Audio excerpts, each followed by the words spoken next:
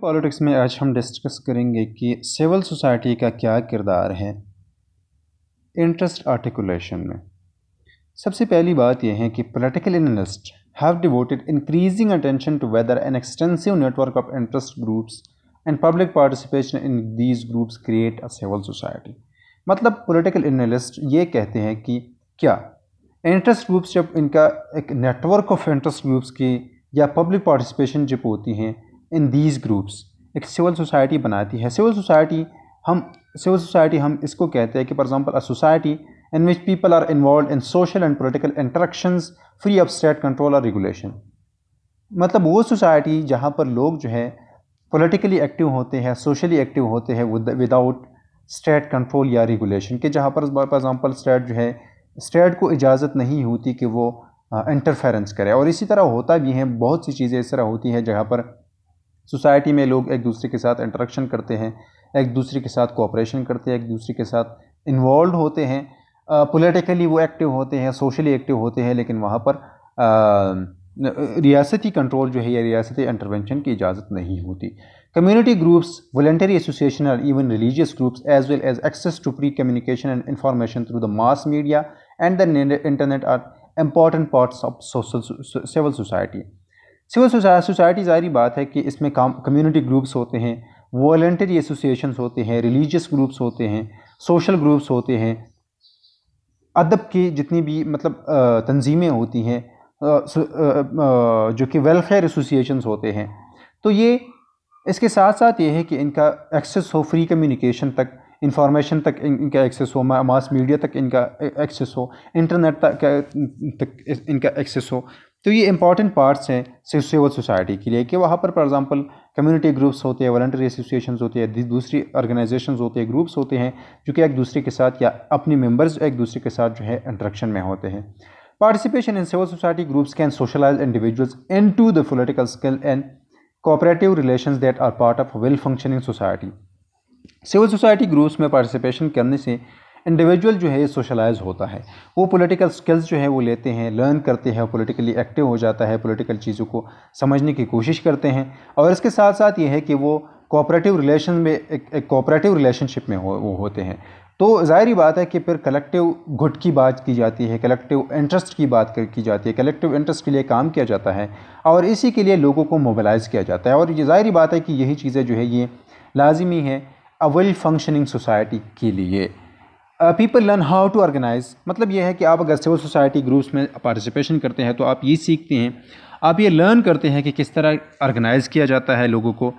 अपने इंटरेस्ट को किस तरह एक्सप्रेस किया जाता है and work with others to achieve common goals और जारी बात है कि आप ये सीखते हैं कि आप कॉमन गोल्स की तरफ़ किस तरह कलेक्टिव स्ट्रगल कर सकते हैं, आप किस तरह कलेक्टिवली जा सकते हैं। They also learn that the political process is as important as immediate result ज़ाहरी बात है कि ये, वो ये भी लर्न करते हैं कि political process itself is as important as the immediate result की ज़ाहरी बात है कि पॉलिटिकल प्रोसेस तक तोज्जो देना या पॉलिटिकल प्रोसेस को समझना भी इतना लाजमी है या इतना अहम है या पॉलिटिकल प्रोसेस इतना इट सेल्फ इतना अहम है जितना इमीजिएट रिज़ल्ट है इसके। The system of active associational groups can lessen the development of anomic and non associational activity सारी बात है कि जहाँ पर एक्टिव एसोसिएशनल ग्रुप्स होते हैं सोशल ग्रुप्स होते हैं। तो ज़ाहिर बात है कि वो एक ऑर्गेनाइज बुनियाद पर स्ट्रगल करते हैं, वो पीसफुल स्ट्रगल करते हैं और अपने इंटरेस्ट को पॉलिसी मेकर्स तक पहुंचाते हैं। तो ज़ाहिर बात है कि वहाँ पर इनामिक ग्रुप्स जो है, ये नहीं आते। इसके एसोसिएशनल ग्रुप्स की बुनियाद पर यह है कि इसके साथ सिस्टम में या सोसाइटी में इंक्लूसिवनेस आती है कि सारे लोगों के एक एक ग्रुप के ज़रिए से सारे लोगों को रिप्रेजेंट किया जाता है। तो वहाँ पर लोग इनामिक या नॉन एसोसिएशनल एक्टिविटी की तरफ़ नहीं जाते। वायलेंस की तरफ़ नहीं जाते नॉन जो कि coercive access channels of access है वो इसी की तरफ़ नहीं जाते। uh, और इसके साथ साथ ये है कि group activity can help citizen to develop and clarify their own preferences और ज़ाहिर बात है कि ग्रुप एक्टिविटीज़ में लोग ये ये ये ये सम, मतलब लर्न करते हैं कि uh, और डेवलप करते हैं और क्लैरिफाई करते हैं कि इनके प्रेफरेंसेस क्या है इनकी वांट्स क्या है डिमांड्स क्या है। Provide important information about political events और ज़ाहिर बात है कि उनको इंफॉर्मेशन मिलती हैं। वो अब वहाँ पर सोशलाइज होते हैं अबाउट पोलिटिकल इवेंट्स और इसके साथ साथ ये है कि and articulate the interest of citizen more clearly and precisely than parties and and election और एसोसिएशन ग्रुप्स के ज़रिए से या सिविल सोसाइटी के ज़रिए से सिटीजन जो है वो अपने इंटरेस्ट को क्लियरली और प्रिसाइसली जो है वो आर्टिकुलेट करते हैं एक्सप्रेस करते हैं पार्टीज़ के ज़रिए इस तरह नहीं हो सकता इलेक्शंस के ज़रिए इस तरह नहीं हो सकता क्योंकि इलेक्शंस जो है ये तकरीबन चार या पाँच साल बाद होते हैं। Thus an active public involve in various interest groups provide a fertile ground for the development of democratic politics. तो जहाँ पर सिविल सोसाइटी में लोगों को आ, लोगों को आज़ादी मिल जाती है लोगों को राइट टू एसोसिएशन मिल जाता है राइट टू इन्फॉर्मेशन और इसके साथ साथ दूसरी जितनी भी आज़ादियाँ है अगर लोगों को ये मिल जाती है तो इसके साथ ये है कि सारे लोगों की रिप्रेजेंटेशन मिलती है, सारे लोगों को आवाज़ को सुना जाता है इंक्लूसिवनेस आ जाती है तो ज़ाहरी बात है कि इसके साथ डेमोक्रेटिक पॉलिटिक्स में खातिर खा जो है हम कह सकते हैं कि पॉजिटिव चेंजेस आ सकते हैं। As political and economic condition become interdependent across nation there is also increasing attention directed towards the development of global civil society globalization के साथ ये है कि ये हुआ है कि इकनॉमिक जब इंटरडिपेंडेंस इकनॉमिकली ममालिक और लोग जो है एक दूसरे पर इंटरडिपेंडेंट है पोलिटिकली वर्क एक दूसरे पर इंटरडिपेंडेंट है तो ये है कि एक ग्लोबल सिविल सोसाइटी जो है ये वजूद में आ चुकी है या मतलब आने वाले दिनों में आ जाएगी मोर ऑर्गेनाइज इस तरह है कि फॉर एग्जांपल फेमिनिस्ट ग्रुप्स हैं मूवमेंट्स हैं, जो कि मतलब इंटरनेशनली वो अपनी अपना स्ट्रगल जो है ये जारी रखते हैं। इन्वायरमेंटल मूवमेंट्स है आइडियोलॉजिकल मूवमेंट्स है इवन रिलीजियस ग्रुप्स है, जो कि इंटरनेशनली काम करते हैं और इंटरनेशनली जो है वो एक्टिव होते हैं। और इसके साथ इंटरनेशनल एक्सेल सोसाइटी जो है, ये वजूद में आ जाती हैं, या आ चुके हैं। Individuals and groups in one nation are connected to groups with similar concern in other nations जारी बात है कि वो एक दूसरे के साथ कोऑर्डिनेशन में होते हैं कोऑपरेशन में होते हैं इंटरेक्शन में होते हैं, वो एक दूसरे पर इंटरडिपेंडेंट भी इंटरडिपेंडेंट भी हो सकते हैं। एंड जॉइंटली री द इंडिविजुअल एफर्ट्स और जारी बात है कि एक दूसरे का हेल्प हेल्प करते हैं। एनवायरमेंटल ग्रुप्स की हमने बात की। Assist environmental groups in developing nations that that the expertise and organizational resources to address the issues facing their countries. जारी बात है कि वो रिसोर्स की बुनियाद पर वो डेवलप डेवलप्ड सोसाइटीज़ में जो कि इन्वायरमेंटल ग्रुप्स है वो डेवलपिंग सोसाइटीज़ में जो इन्वायरमेंटल ग्रुप्स हैं उनको हेल्प कर, उनका हेल्प करते हैं। उनको इनकम प्रोवाइड करते हैं उनको एक्सपेंडिचर या जितनी भी रिसोर्स है वो प्रोवाइड करते हैं। और इसके साथ साथ national groups meet at international conference policy forums national groups जो है वो इंटरनेशनल कॉन्फ्रेंसेस पर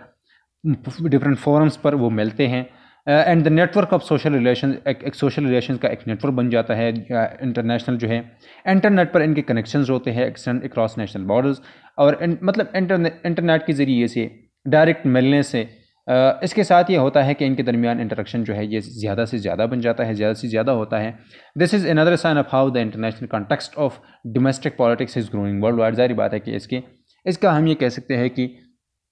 किस तरह इंटरनेशनल सिस्टम जो है इंटरनेशनल पॉलिटिक्स जो है, असरअंदाज होता है डोमेस्टिक पॉलिटिक्स पर और डोमेस्टिक पॉलिटिक्स जो है, असरअंदाज होता है इंटरनेशनल पॉलिटिक्स पर। तो सिविल सोसाइटी ज़ाहिर बात है कि इसका एक एक बहुत अहम रोल है इंटरेस्ट में, क्योंकि सिविल सोसाइटी में अगर एसोसिएशनल ग्रुप्स को अलाउ किया जाता है या मतलब सारे लोग जो हैं, इनके अपनी ग्रुप्स होते हैं तो इनके अपनी ग्रुप्स जो है, इनकी इंटरेस्ट को आर्टिकुलेट करते हैं एक ऑर्गेनाइज तरीके से, एक पीसफुल तरीके से। इनकी आवाज़ को सुना जाता है सोसाइटी मोर इंक्लूसिव बन जाती हैं। और इसकी ज़ाहरी बात है कि इंटरेस्ट रेगुलेशन जो है ये बेहतरीन तरीके से through legitimate channels for example media के ज़रिए से इंटरनेट के ज़रिए से सोशल मीडिया के ज़रिए से डायरेक्ट कंटैक्ट के ज़रिए से लॉबिंग के ज़रिए से कंपेन के ज़रिए से एक पोलिटिकल पार्टी के लिए